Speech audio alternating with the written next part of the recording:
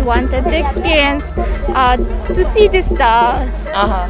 Yes, and I really wanted to know how it feels to be in the game. It's like we are on the game, uh-huh. hearing the music and seeing the stars.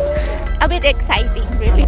영화 되게 재밌게 봤었고 할로윈데이 맞아가지고 이 옷 산 옷 오늘 이제 다 같이 좀 맞춰 입고도 왔는데 와서 보니까 되게 영화에서 봤던 캐릭터를 실제로 봐가지고 되게 신기하고 재밌었고